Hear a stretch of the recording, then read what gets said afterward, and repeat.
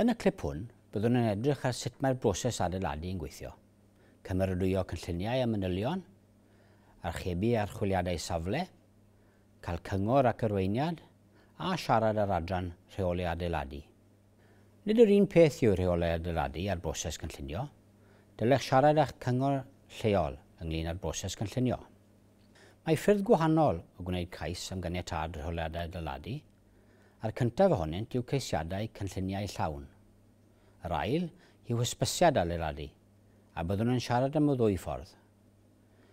Codir ffi am y ddwy ffordd o wneud cais, ond efallai y bydd rhai pethau wedi eu heithro os oes gennych anabledd. Byddwch yn ymgynghori a phobl eraill, a byddwn fel arfer yn gwirio eich cynllun mewn tua pethefnos.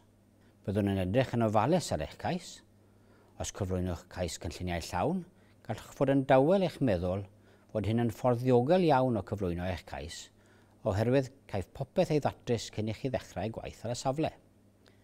Byddwch yn cael caniatad, a bydd gan eich adeiladwr gynllun go iawn i weithio ohono, felly dylai'r dyfn bris fod yn agos at ei le. Efallai, a bydd angen peiriannedd strwythurol neu gyfrifiadau thermol arnoch, a gallwch gael cynlluniau wedi eu llunio gan bensair, gan luniwr cynlluniau, gan beiriannydd adeiladu neu gan beiriannydd strwythurol. Am eich arian, mae'n fwy na thebyg y cael syniadau da ac awgymriadau dylunio na allai dim ond gweithwyr proffesiynol ei hygwmni i chi. Yr opsiwn arall yw defnyddio hysbysiad adeiladu ar gyfer gwaith bach prosiectau syml iawn yma i hyn orau.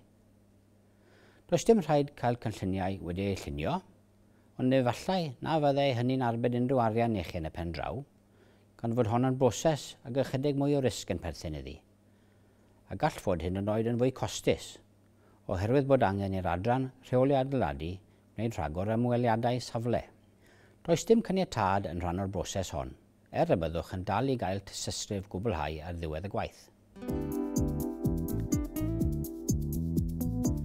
Gallwch wneud cais yn bersonol yn y swyddfa yn eich cyngor lleol, ar-lein, neu drwy'r post.